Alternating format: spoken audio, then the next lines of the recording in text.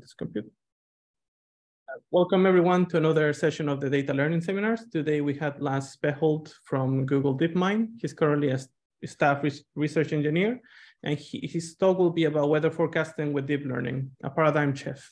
Lars, uh, thank you so much for um, sharing your time with us. And yes, please go ahead. Thanks. Um, yeah, I'm happy that I can speak at your seminar. Um, and yeah, as mentioned, I'm going to talk about weather forecasting, which I worked on uh, for three years-ish. Um, so just a little bit quick rundown of my background. I started in Aarhus University in Denmark. When I finished that, I went to DeepMind in London for um, three and a half years. Then together with some colleagues, I established uh, a Google Brain office in, um, in Amsterdam. Uh, like this year, I moved back to Denmark. And now, as you may have seen, Google Brain and Google DeepMind has merged. So now it's called Google DeepMind. Uh, and throughout my career, I like worked on like a bunch of deep learning topics, right? So like machine translation, uh, language modeling, uh, in particular reinforcement learning. But in the last few years, I worked on weather forecasting. And, and this is really joint work with uh, people from Google Research and now uh, Google from um, from Google um, DeepMind, people from Google DeepMind. And and the purpose of weather forecasting, just to like reiterate, like what, what we are talking about here is like the, the first thing you you may be interested in is just like day-to-day planning. Is it do, do I need an umbrella uh, for going to the park or is, is, it sunny and so on? Can I go to the beach uh, and and so on? So that's like one purpose and what most users use it for. But then you could also use it for like optimizing the energy grid. So you can stabilize it by predicting solar and wind farms. And by doing so, you also optimize the grid um, and like reduce the, um, the dependency on coal power plants, for instance. You can do the same thing for food production, uh, how much water you need to uh, spray on the fields and so on, and, and when you can harvest, etc. And yeah, a, a, a, fourth thing here is like uh, urban livability. So basically predicting air quality, traffic, and so on. And maybe like very relevant these days is like extreme events.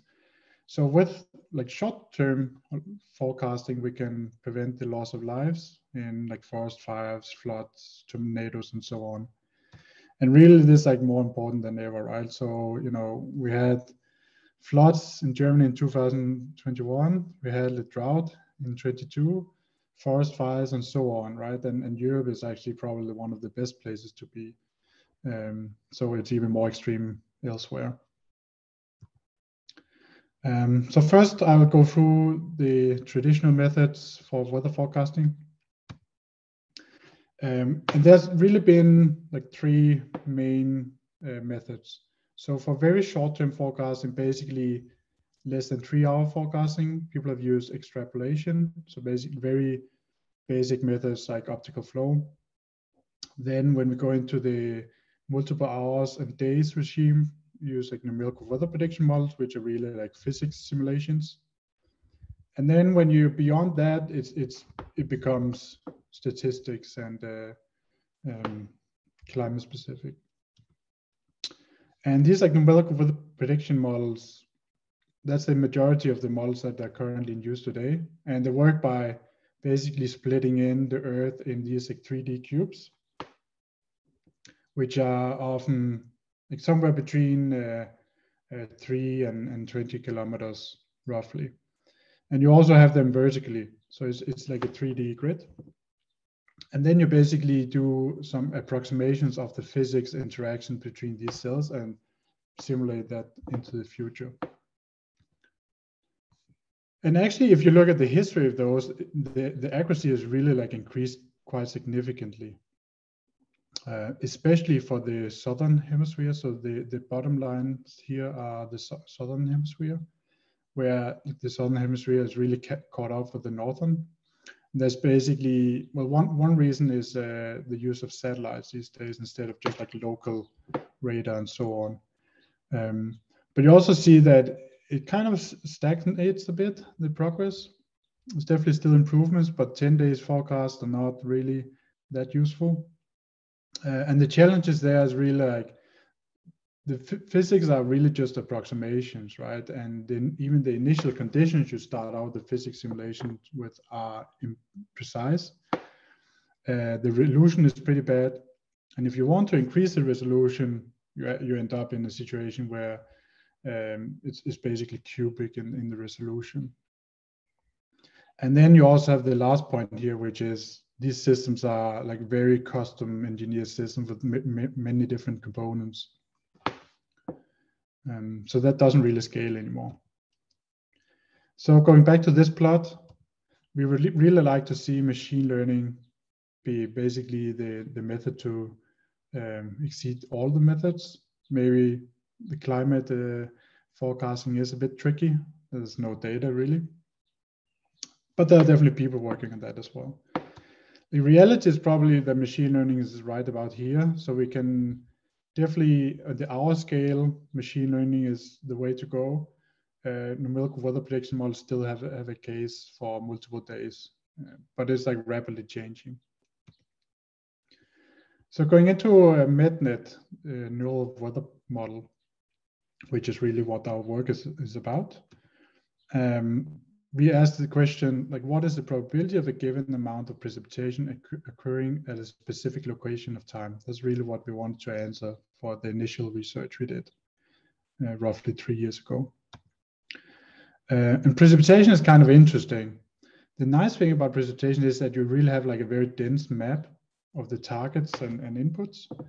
Uh, so that's quite nice. Uh, the tricky thing is that, as you can see, it's like very, you know, discrete, and it has like wind, it's like moving, and these patterns can like be created like out of nowhere, basically. Uh, as like this plot is showing, you have like a lot of like different types of precipitation and and uh, effects, uh, like things that affects the precipitation. Um, and what we want to get out of this is is a distribution, like the probability of a given uh, like millimeter amount um, in an hour. Um, and the way that numerical weather prediction models get this this answer is really that they take a bunch of observations, then they have this data assimilation step, which is basically taking all these sparse observations and like densifying them into like a, a full state. And then run this simulation of that state the interactions of, of these like cubes, as I mentioned, like many times. Um, so it could be 50 times. And then finally you ensemble these uh, forecast, exact forecast or rollouts. Uh, and with that, you could do make like a probabilistic or deterministic forecast. And sometimes you'll even have like experts in the loop, right? So when you have more extreme events, you will have experts looking at these forecasts to determine uh, the quality, which is a quite quite a strange thing to have, I think. Where for MetNet, it's really just you know standard deep learning. We take observations in, you get a direct probabilistic output out. Another way to look at it is in this plot here. So we have the numerical weather prediction where you have the initial conditions x, but you then perturb these uh, conditions. So you have like an, a set x of uh, conditions you start out with, and then you run the simulation, and you end up with some basically ensemble that you're merging into a distribution. Where again, with deep learning, we can predict the distribution directly with the single forward pass. So some really nice things about uh, using deep learning for forecasting is that these traditional models take an hour or more. It could be up to six hours actually for some of the models. So it's not really useful for like short-term forecasting. That's why we have been using optical flow. And they're actually also like very poor quality in the beginning. Where neural networks are quite efficient and highly scale uh, parallelizable, so we can really run this in like one second when we have the data, if you parallelize enough. Another thing is the resolution. So MetNet has like a two minute temporal resolution and a one kilometer spatial resolution, where the NVPs, they have approximately one hour temporal resolution. In this case, is a model called HRRR, and a spatial resolution of three kilometers, which is basically the best you can get. Um, we can also know the network is quite easy to model a lot of things at the same time. So of course we can use like standard variables like precipitation, wind, temperature, and so on. But we could also model like tornadoes directly and get a probability of the tornadoes as long as we have enough uh, annotated data. Uh, and we can do this with like variables where the physics are not well understood. Uh, NVPs we cannot really do that. Finally, and this is really the, the, the essence of machine learning and in particular deep learning, we have transfer learning, right? So every new variable we ask the model to predict has the potential for improving the model across the board for other, other variables as well, if there's some um, similarity between them. Every input has the potential for improving any output, right? And finally, as with the deep learning we've seen, you know, any improvement in the community for even language modeling or vision and so on has the potential to improve the results. So the progression here of um, of MetNet was uh, in first in 2020 we we published the first paper where we did uh, um, succeeded this baseline we had it was a quite strong baseline for seven eight hours. In 2021 we were exceeding for 13 15 hours and now we're exceeding for 24 hours plus. Um, so going a bit into detail about MetNet 3 which is really about stronger results compared to MetNet 2 and including more variables.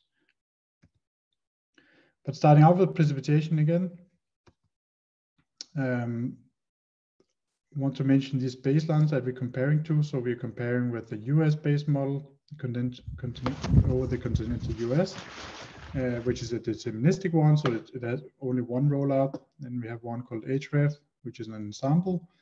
HRES, which is a global deterministic high quality model from the European Institute, and then ENS, which is similar to HRES, but uh, an ensemble where you have like 50 ensembles that you combine. And then finally MetNet, which on you know the frequency and so on is, is much better. We can run it every 10 minutes or even two minutes. Technically, the spatial resolution is higher than the temporal resolution. However, when we compare weather models, like really the, the thing you really want to compare with is something like AccuWeather or weather.com and so on, which uh, are based on these models and a bunch of other models, and then they're post-processed. So the results we have here, uh, we have we are measuring using two metrics, CRPS, which is really measuring the entire distribution of all rates, and then CSI, which is taking the probabilities and thresholding them. Uh, and then those are for individual uh, uh rates. So for CRPS, which is like lower is better, we are better than uh, this ENS, the strongest baseline for all of 24 hours. For one millimeter CSI, we're better for like 16 hours. And then when we go to like eight millimeter, which is higher rates, we're actually better for more than 24 hours. Um, initially, like when we did our first research, people were thinking, oh, we, we only published like two millimeter results up to two millimeter. And they were like, yeah, you should try higher rates. That's much harder. But actually, like relatively speaking, we're doing better with higher rates. And we have like one visualization here, which is 24 hours. So up here, we have the ground truth for one millimeter rain, where we have one millimeter rain. And down here, we have the probabilities. So uh, um, green is a higher probability and yellow is a lower probability down to 1%. And then we have the blue line here, which is the threshold that optimizes this CSI um, score. But really like the probabilities is, is what you want. But the nice thing about here is that we, we actually predict like a full formation of a new precipitation pattern, which is also something that people initially thought these models would never be able to do. They thought they were only going to be extrapolating or like moving around the precipitation, but this is really not the case at this point.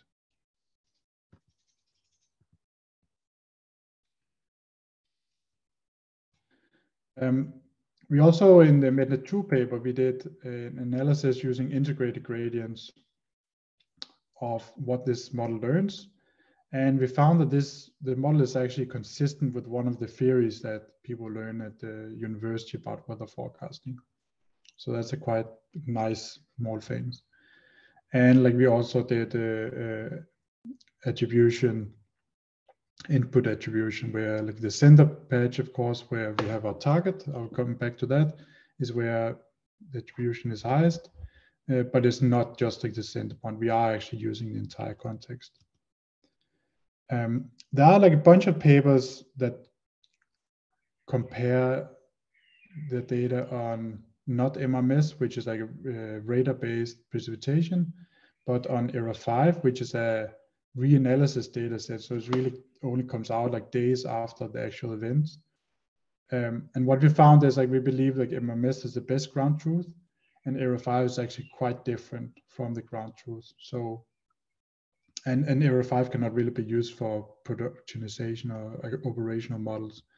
So we think people should use something else than ERA5. And you see the resolution is much lower, the precision is lower. So yeah.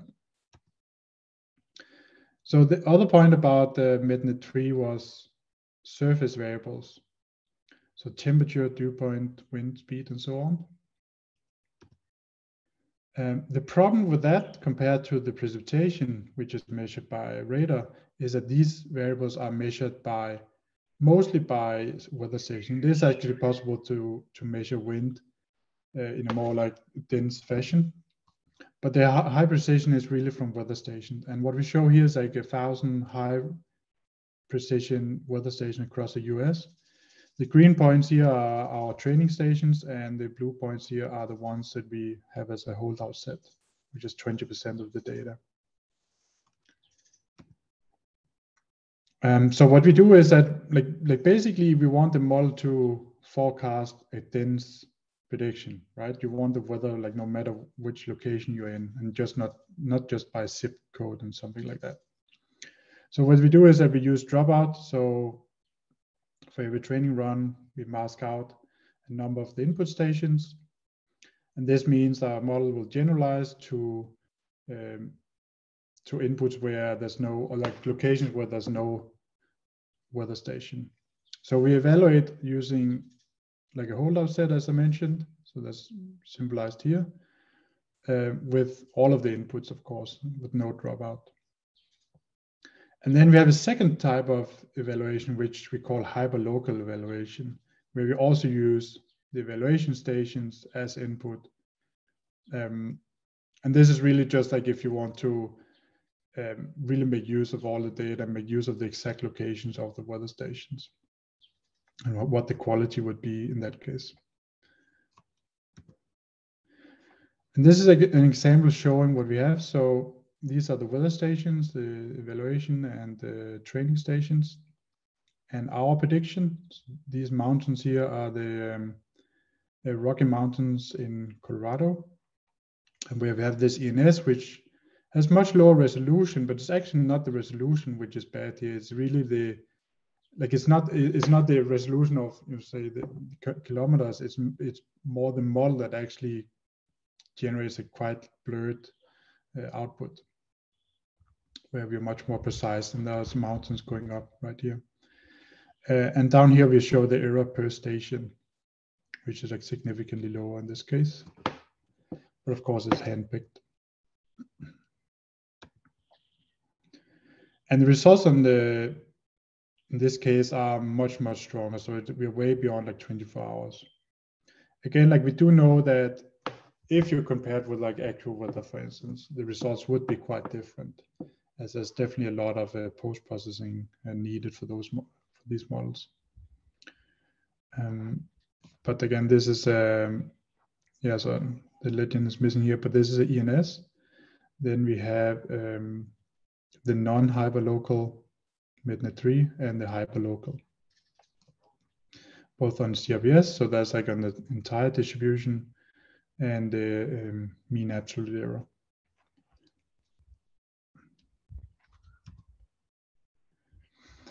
And if you, if you look at like a single location for these models, one will also see that even though like ENS is these 50 ensembles, they actually don't like the probabilities don't spread, have a lot of spread in them. And where we here we are showing like an 80 percentile um, visualization, and like we have like a much more realistic spread than these like ENS, which is yeah the prediction the probabilities only come from running these 50 models and and combining the results from these 50 simulations. So a few notes on the architecture. So basically what we do is that we take a 5,000 by 5,000 kilometer input. Uh, and this will be, so here we're looking at it, the, um, at a quite like a rough uh, uh, projection here. But this is like, of course, to the curvature of the, the Earth and the target area down here, which is 512 kilometers by 512. And then we do, uh, we merge multiple predictions together. And the input we use is uh, radar, which is called MRMS, weather stations, elevation, coordinates, and these uh, topographical embeddings that we use, um, which is also basically based on the coordinates, and then HRRR assimilation, which is uh, it's actually the input that these traditional models get initially. So they do have a lot of like very related variables uh, I think this one is like one we want to get rid of over time. So it'd be like a fully pure model that doesn't need that.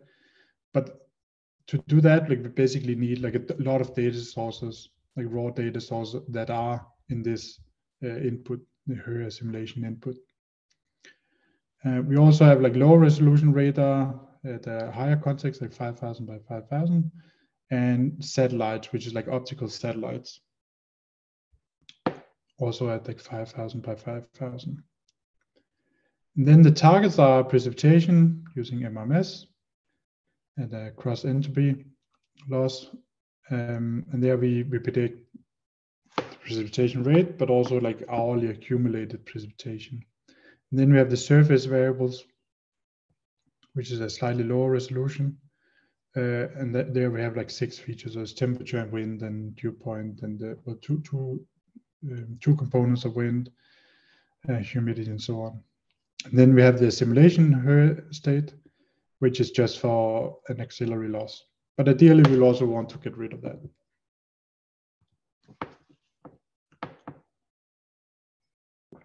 And the architecture is a little bit of a mix of uh, of a lot of things. So on the outside is really like a U-Net like model so we have a four kilometer resolution where we have the inputs that are provided four kilometers. We have some input in the eight kilometer scale provided at the next stage. And then we go down to 16 kilometers and, and upsample again. Um, and finally, we predict the surface targets and the HRRR targets, HRRR assimilation targets, and at the one kilometer scale, we predict the precipitation. And within this architecture, we do have uh, transformers, of course. That's what everybody uses these days. Uh, so we have used uh, specifically MaxViT, like a uh, like a, a quite a modified MaxViT, as well as like ResNet blocks and so on. Um, and then one thing we do is that basically like for our model to predict, let's say eight hours, we give it an index, like an eight hour index as an input, as it becomes like an embedding. Uh, in this, we actually feed at basically every single stage of the model. So it's really conditioned like, throughout the model on um, the specific time it needs to forecast. And that's different from an early iteration where it was only provided as an input at the first uh, first layer. And really these models, like they use more than 10 gigabytes of raw data per sample. And as we get more data sources, this will increase, increase quite massively. So for that, like we really need parallelism. Uh, so we use model parallelism on Google Cloud TPUs. Um, as you may be familiar with, like Google Cloud TPU is like a customized accelerator. Uh, like these days, GPUs are also really customized towards machine learning, but this chip is like only for machine learning. Uh, and they're quite strong and competitive with the GPUs and cheaper. And these are connected in what's called TPU pods. It's like one V3 pod is more than 100 petaflops, and the new generation is even more than that. Um, and we use the JAX framework, so similar to you. You could think about that as like accelerated NumPy basically with gradients, uh, but it's quite flexible and much more like much cleaner than let's say PyTorch in my opinion, and much more. Uh, uh, if you like programming language stuff, that, that's, that's quite nice. Then we have this uh, framework Flax, which is a neural network framework on top of it to make it very easy to use for neural networks. Uh, but basically, yeah, these two things are similar to PyTorch. And what we do is that we basically take the input and split it into a four by four grid. And then we have uh, 16 chips, each getting like one part of the input. And throughout like, the network, they do all the, the communication between the chips. And finally, we have like a merged um, output and all of this is done like very automatically. There's very few code changes needed. There's a little bit of metadata on on how these dimensions should be sharded throughout the model, but that's it. And really, doesn't really take any. Uh, um, it, it it's basically linear scale with the number of chips. So going forward, our goal, as I mentioned, a little bit with the, the HRRR input and HRRR assimilation output. We really want to make like a model that basically goes like end to end on all of weather. So basically take all the raw data we can find and produce all the raw data forecast of specific events as an output. So really like one global model, like Earth model, you could say. So that's really the intention. And like really in the last let's say two years, a lot of progress has happened also industry wide. So the big players are all part of this. So Apple um, is definitely ramping up on weather forecasting as well.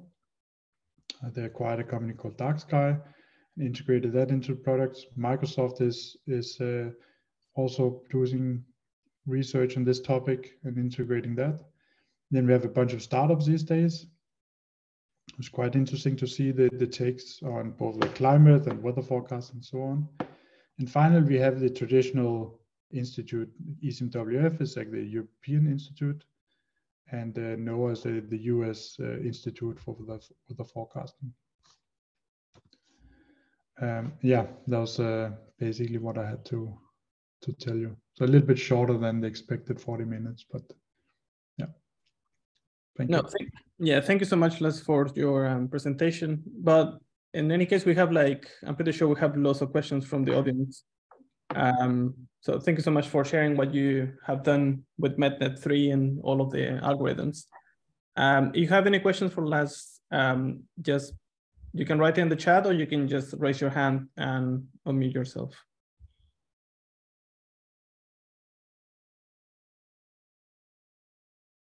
There's a question in the chat. It says, is there any type of physical inductive bias in the model that ensures the model satisfies certain physical properties? By Nassim. Um, that's a good question. And the answer is no. We don't have anything.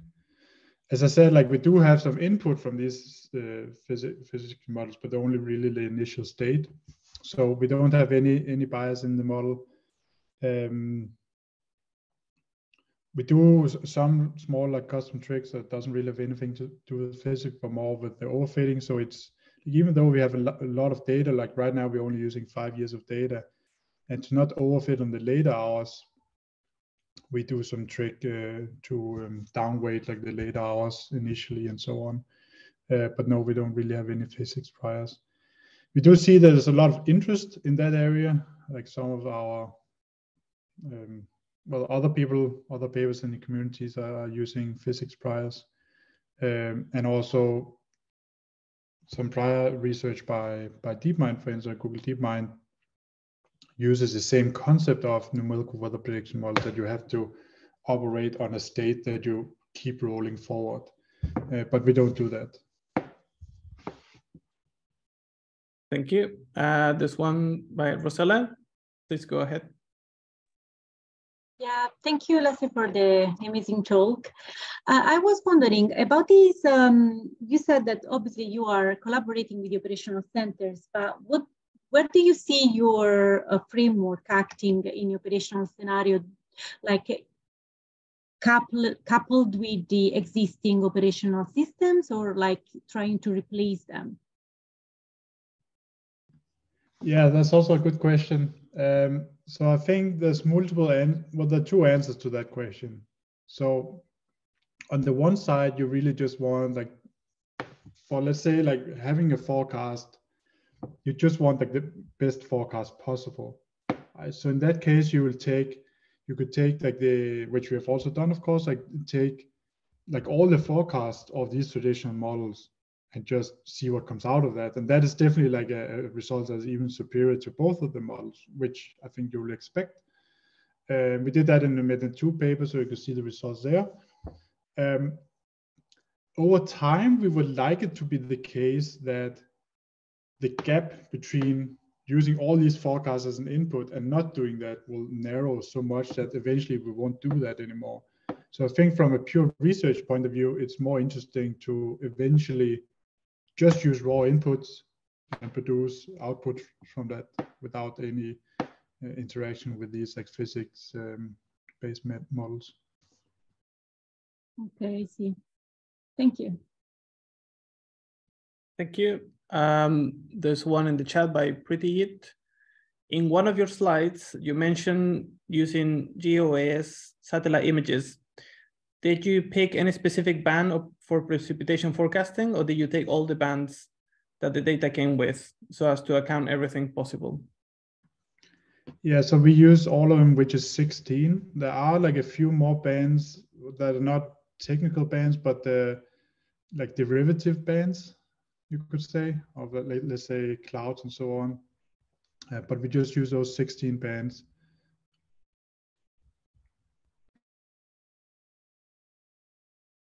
Yeah, good. Thank you.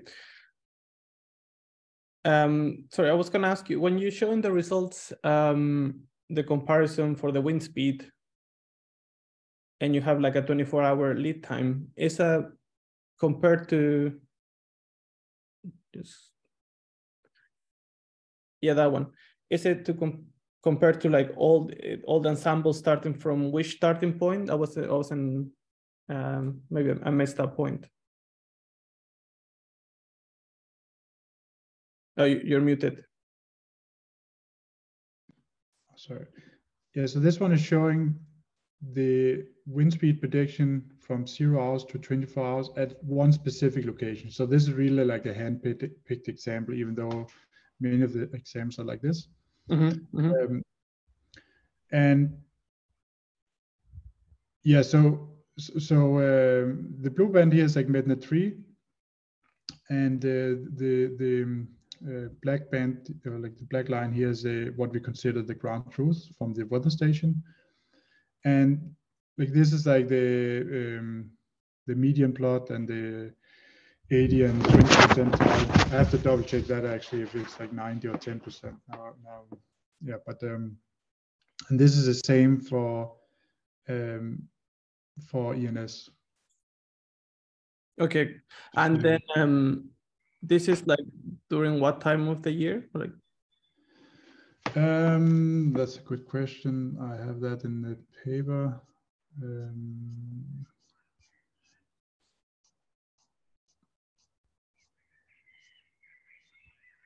that is uh, June, so okay. June 2021. Yeah, I just wonder if like um, the model is able to capture what happens around like maybe the hurricane season, for example. Or yeah, so so I don't have a plot here with like all like the months. Like we have produced a plot like that in um, in the MetNet two paper. I believe we actually have one of our samples is a uh, a hurricane. Mm-hmm. Uh, I have to double check that. But I, leave, I believe we included a hurricane in MetNet 2, where we're doing fine. Okay. Mm, just checking now.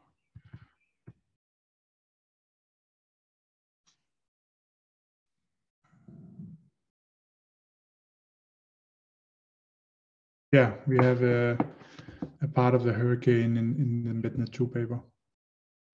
Cool. Thank you. Is that around like 2020 or a bit earlier? Um, the hurricane is from 2020. Okay. And as you mentioned, actually, that this research is uh, basically being published now. Okay. Yeah. Re research, so potentially the paper will be out in potentially tomorrow. Okay, cool. It's- Looking it's forward to it. Um, in terms of like now that Google DeepMind, so the Google Brain and DeepMind they were um, merged. Um, I noticed that DeepMind released a paper, GraphCast, at the end of December last year. How? Well, I don't know how much you can tell us, but how are these like efforts, individual efforts? You plan to put them together at some point, or for example, with DGMR that was published like two years ago, for for forecast in the UK. Yeah, so um, we merged with DeepMind uh, seven weeks ago. Mhm. Um,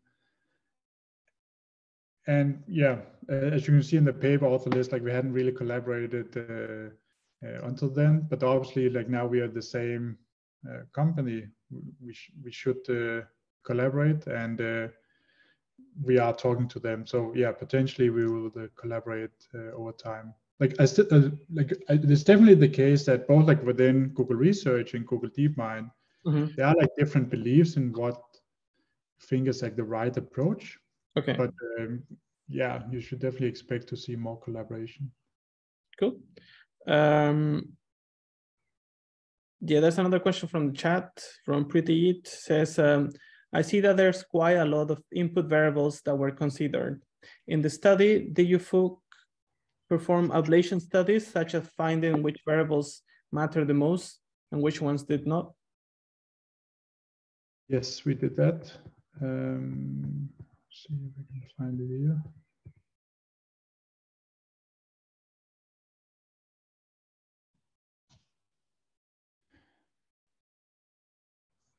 So you can uh, you can see this paper, right? Shared, yeah.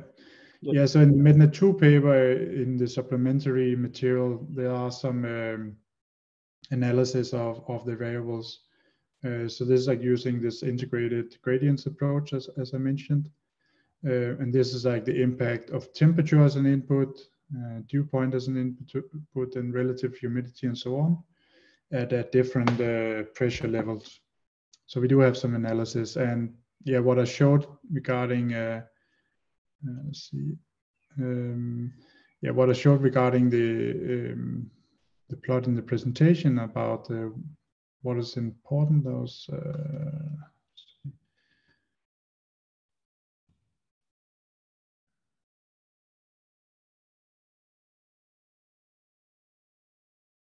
yeah, so these these plots as well.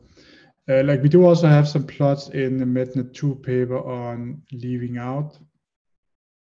For instance, uh, GOES, I think it is. We also have some experiments in the first MetNet paper and leaving out some inputs. Uh, in the newest paper, we we don't include that because it's not yeah interesting in this iteration. Thank you. It's okay, Pretty? Um, does anyone have any other questions for Lasse in the chat or you can raise your hand? I think we still have some time for questions.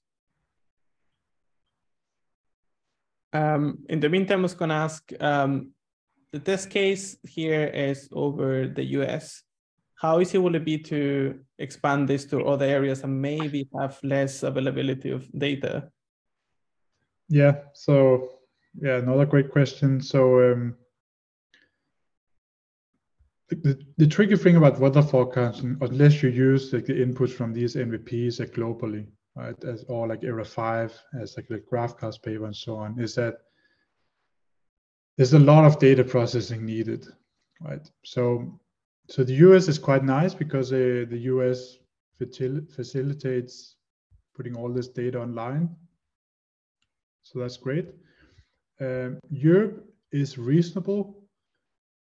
They are like we, Europe has like a bunch of countries, and they don't they're not like 100% aligned on this raw data. Um, but there are of course like you can use like these models from ECMWF, like ENS and so on. And then we, if we come to areas like Africa, India, and so on, it's, it's much much worse. Like in India, you, we do have some uh, radars measuring precipitation, for instance, but they're not very dense. Um, there are actually becoming more and more satellites online that try to measure these things. So, so one thing is like this GOES satellite, which is uh, optical bands, but also like infrared and so on, which to some extent you can use for measuring precipitation and clouds and so on, but it's not that great. Then you have satellites, there's some satellites called IMERG, or like a product called IMERG that comes from radar-based satellites. So those are not geostational. So basically they uh, rot rotate around the Earth. There's a bunch of them, like seven or so, I think. Um, so you don't have precipitation measurement for all locations at all times, but it's, it's quite reasonable. However, the, the quality is like still way worse. Like the resolution is 10 kilometers, but even then you cannot really like 100% trust it. So locations where you don't have anything are quite quite tricky, and I don't think that has been like fully solved yet. Um, yeah.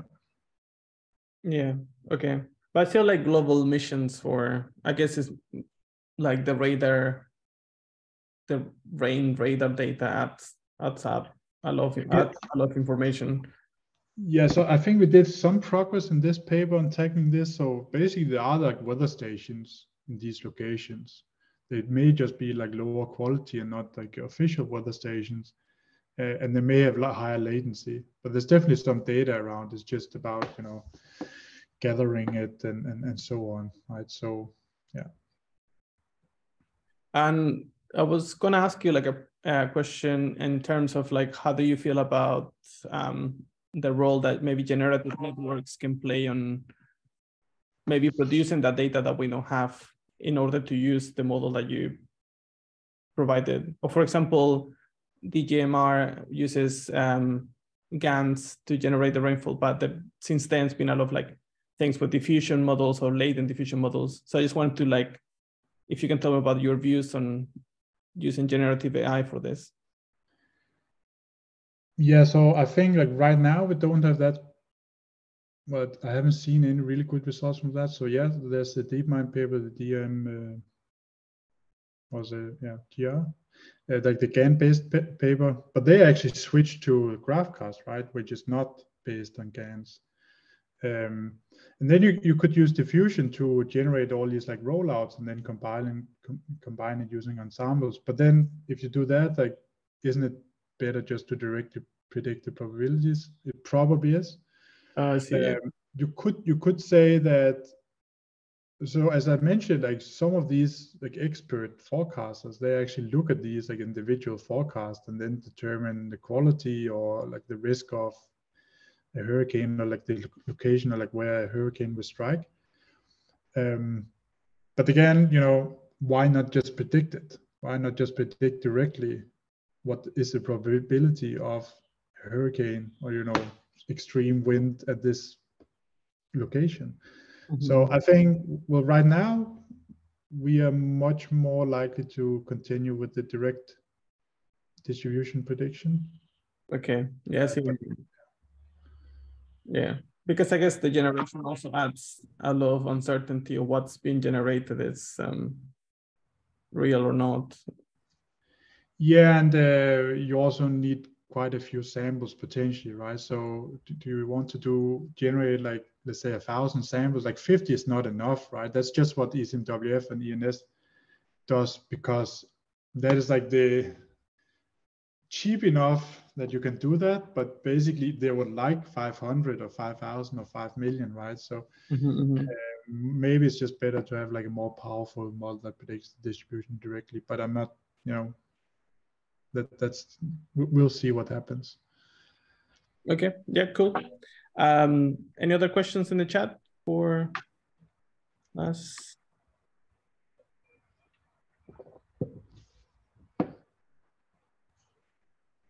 Um, well, if not, I have one final question, if that's okay.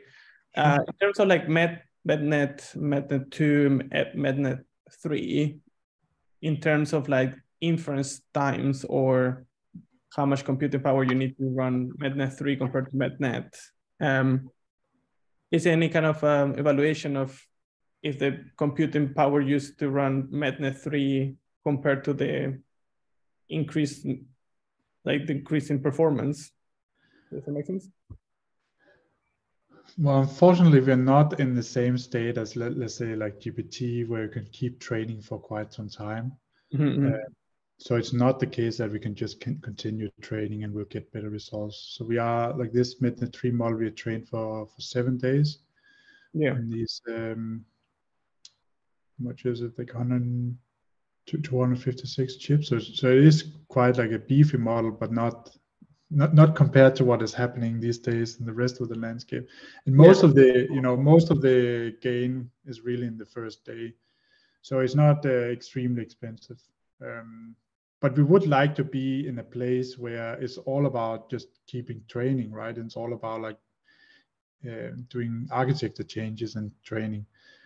Um, but that's not the case right now like even you know as i mentioned we are using four or five years of data and we should be using more you know yeah. it's just a matter of like not having access to all the data um, is quite limiting right you only see a handful of hurricanes um, so yeah it's, it's, it's just not enough like it's like so we, we cannot expect these models to do well on let's say one month time horizon or something like that with so little data, right? There's very few data points really. Um, so yeah, we need more data. But there's a lot of data out there, and you know, like even these traditional approaches, they don't use all the data. They cannot process it.